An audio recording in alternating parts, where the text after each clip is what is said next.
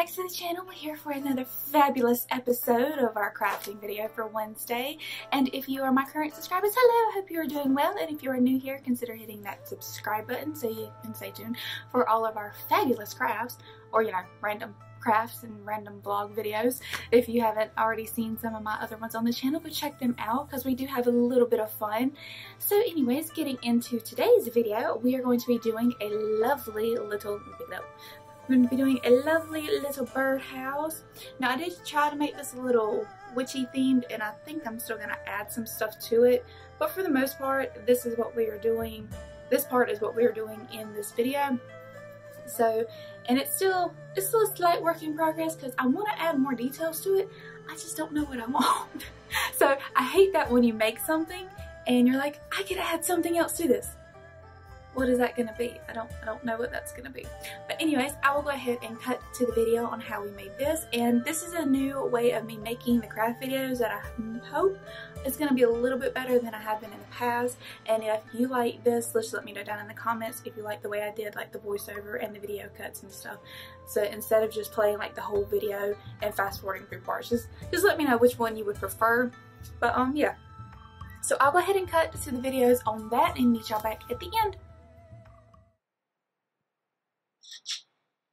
Okay, so here we are making our birdhouse. Um, well, not making our birdhouse. We already have our birdhouse. I got mine from Michael's, and I got it because it kind of looks like a little pagoda, and I thought it was really, really cute. So I'm just showing y'all in this little clip that I got my birdhouse that we're going to be using. I got my moss that I'm pretty sure y'all have seen in some other craft videos and stuff that I have done. Um, and it's just basic. I think it's just preserved moss that you can get. I got mine from my local Dollar Tree. Um, I think you can get some from Michael's and stuff. And then uh, I'm showing you my little birdhouse that I got. It's really cute. Like I said, I thought it looked like kind of like a little pagoda. I don't know. I just thought it was really, really adorable. Plus, it, I think it was on sale as well. I will leave, if it's still on their website, I will leave the link for it down below. And it already comes with like the little hanger that I can use so I don't have to worry about attaching one of those. And see, the next thing that we're going to be using is some acrylic paint. I have a white acrylic paint and I think it's like a yellow brown acrylic paint. This is just in a set that I had bought from Walmart and I'm pretty sure, I think I said, uh, y'all have seen those in some of my paint and pour videos. So it come out of that set. Those are the two that I will be using throughout this video. And then I have a little popsicle stick that I actually went ahead and cut the ends off of. And I'm going to be using that to make like a little sign for my birdhouse just because I thought that would be a really cute idea. And of course, you're going to need your handy dandy hot glue gun to attach everything to your birdhouse. I've had mine on the side heating up already, so go ahead and have that going. And then you're going to need some stones. These are just some decorative stones that I think I picked up from my local Dollar Tree again. Um, you can pretty much get these anywhere. I've been using these for a lot of craft projects. Um, then you're going to need a paintbrush as well. Again, I have a bunch of these like little foam paintbrushes. I have all those hanging around. So what we're going to be doing first is taking our brown paint and we're going to paint the bottom of our birdhouse and we're going to paint the top of our birdhouse that color. And I'm going to do a rough paint on that because it doesn't really matter if it's going to be good. And I've also went ahead and put something down. So whenever I do paint it doesn't get like on my doesn't get on my uh da, da, da, doesn't get on my mat and stuff. But like I said I'm going to go ahead and paint the bottom and the top of the birdhouse in this like brownish color just because I don't want the that light color natural wood coming through. So that is what we are going to be doing.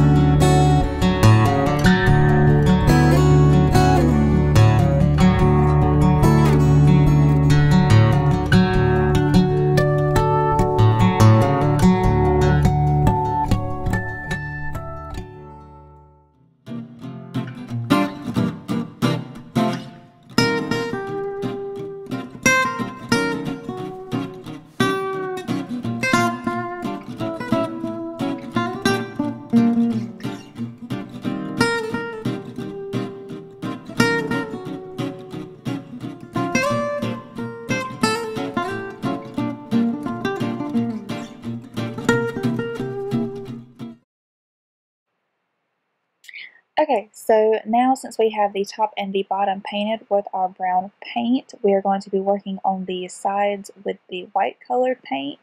So I'm just going to take that and pop it open, put me some on my little sheet that I have. There we go, put it on the little sheet that I have. And I'm just going to start, yep, I'm just going to start spreading it on the sides. Now, like I said, I'm going to do, I'm kind of going to do this a little bit thick, but at the same time, I'm going to do like a rough kind of, kind of dry paint because I want it tinted, but I don't want it, you know, like fully neon kind of white color. So I want you to still be able to see some of the natural wood, but not completely. So I'm just going to sit here and just paint over all that. And I'm even going to paint the little, um, the little resting pose for our birds. And Yep, just go around the sides with that.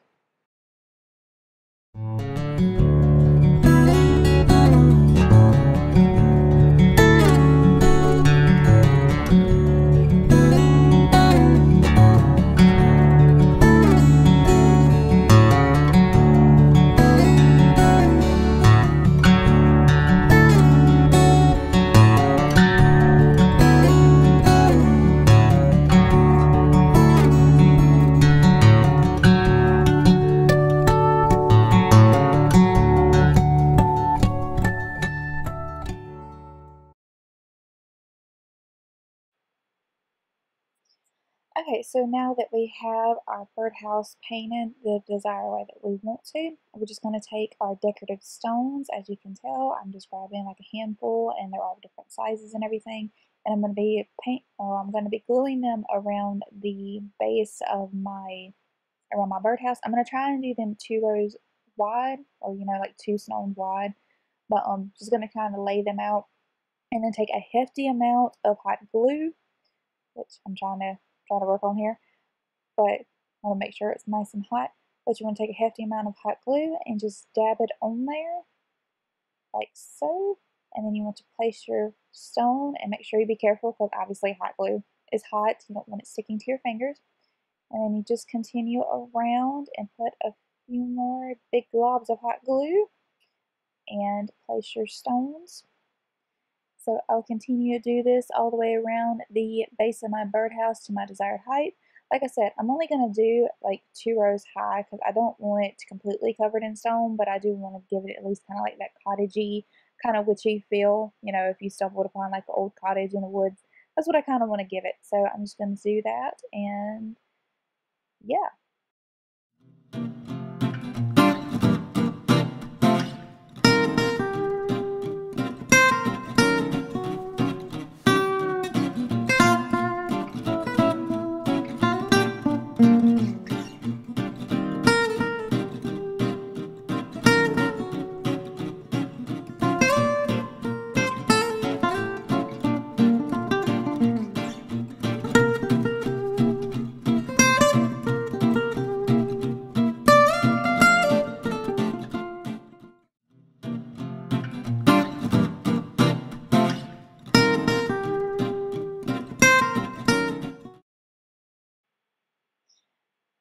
So as you can tell, I just finished putting my two rows of stone around my birdhouse. I'm just going to give y'all a quick little view of what it ended up being.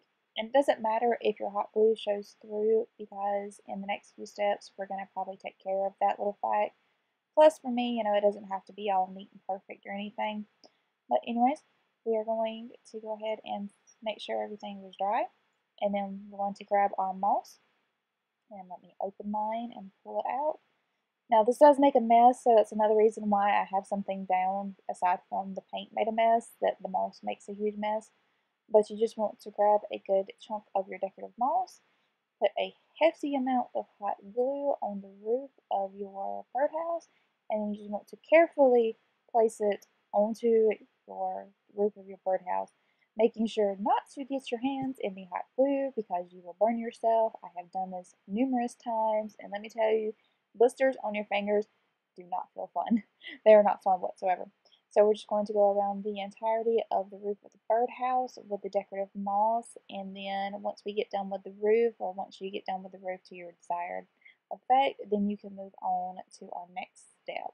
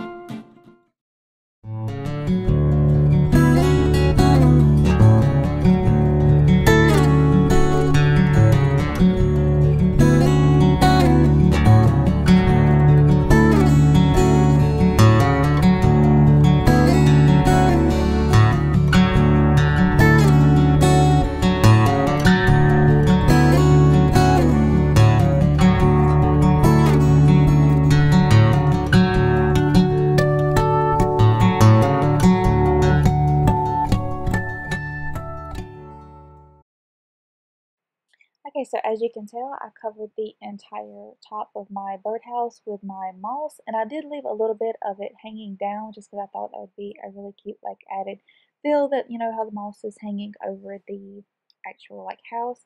So our next step that we're going to do is we're going to take the moss and we're going to go around the bottom of our birdhouse.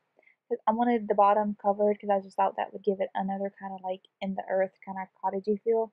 So just take a good hefty amount of your hot glue like we've been doing and just go around the top where your stone line is and like the sides of your of your little birdhouse down there at the bottom.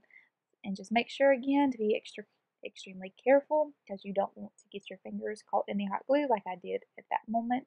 And two, what I wanted to do is try to stay below my stone line because I didn't want my stones completely covered in the moss. So I'm just kind of like packing it in there really good and pressing it in to make sure it actually stays like at that little rock line. So I'm just going to go around the entirety of my birdhouse. Now I didn't worry about the very, very bottom of the birdhouse. I just went around the sides of the birdhouse as you can tell. And see like how I have a big open spot right there as well. And in some of the other spots I have, I think around the sides of the birdhouse, I just went ahead and just took like little balls of the moss and just kind of like packed it in there to give it kind of more of that overgrown, mossy, in the earth kind of cottagey feel. And I just went around these sides. And I think on one side, as you'll see um, in a later video, that I went ahead and did like some moss coming up the side of the birdhouse. So yeah, just decorate it pretty much how you want to and how you feel is going to be for your overall effect.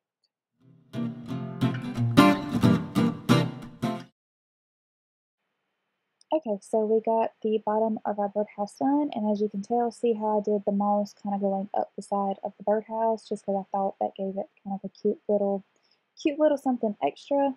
I don't know, I thought it was adorable at the time, so I just kind of went around the entire, and I had some of the moss, again, look like it was coming up through the stone, just to give it more of that earthy kind of feel. So now once I got all that done, I'm going to actually take my little popsicle stick that we cut off the ends and as you can tell I drew out or I wrote out blessed be on it. So I thought again since I kind of wanted like a little witchy cottage thought it'd be really cute to put on there as a little sign and I decided to use my wood burning tool to actually put the letters on there. This is completely optional for you. You don't have to. You can paint them on there. But since I had my wood burning tool on hand, I figured it would last longer and be a bit more, I don't know, I just like the more rustic look of the wood burning tool. So I'm going to sit here and do that for you guys.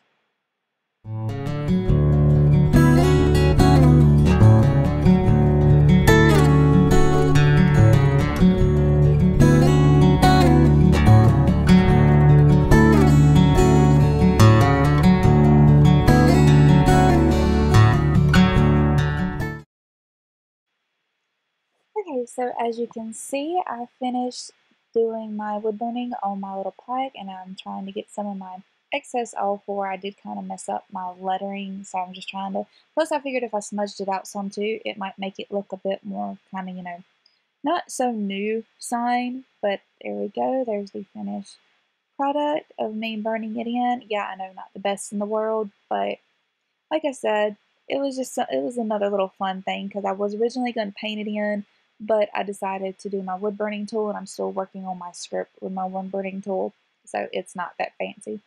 But then we're just going to glue it on our birdhouse and I didn't want to glue it on there like perfectly even but I did kind of want it a little bit even. But I think there we have it just let it sit there for a minute and press it in make sure it's not going anywhere and get off all the excess little strings from the hot glue. But that is pretty much our finished product for our birdhouse. And yeah, I'm, I'm happy with it. I still think I should add something else to it, but I'm not entirely sure what I want to do. But for the most part, it is pretty much done. Okay, so I hope you enjoyed our kind of springy little witchy cottage for your birds and stuff. You know, I'm trying to do a few more like spring and summer activities since it's getting so pretty outside and I want to have more more stuff outside for the birds and the bees and my, my little hummingbirds and, well, birds are hummingbirds. Okay. Anyways, uh, I'm still I'm still fighting a sinus infection, so yeah, just just ignore just ignore that little rant there. But um, anyways, and if you've already made like your own little witchy kind of, you know, birdhouse, there we go. I, I was about to say bird feeder. Ugh, like I said, I'm still, I'm still struggling guys. But um, yeah, if you already made one, let me know down in the comments and if you have like a video or if you have something on Instagram or Facebook and I'd love to see it, see what y'all come up with and we can we can chat and share ideas and maybe I can pull some ideas from you guys to figure out what else I can put on my birdhouse because I like it. I just think it could use something a bit more. so that's why I'm still kind of, it's still kind of in my art room and I haven't put it outside yet because I still got to seal it and all that. But um, yeah, so I hope y'all enjoyed this craft video. Like I said, just let me know down below whether or not you like the video style that I did with like the voiceovers and the screen cuts and all that. Because I'm trying, trying to make it a bit more but more involved I guess or you know make the videos not as long so you can see what I'm doing I tell you what I'm doing without you actually having to sit there and watch every little bit that I'm doing because I know sometimes I fast forward through craft videos that are like that. So I'm trying to I'm trying to work on that for you guys.